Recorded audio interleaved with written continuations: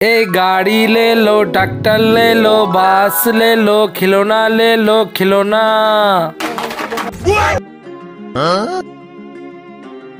अरे ये किसका खिलौना है? लगता है उस खिलौना वाला अंकल का है।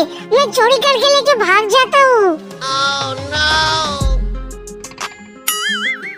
ए बेटा तू खिलौना कहाँ से लेकर उस खिलौना वाला अंकल का खिलौना गिर गया रास्ते में मैं लेके भाग आया। चोरी किया? नहीं पापा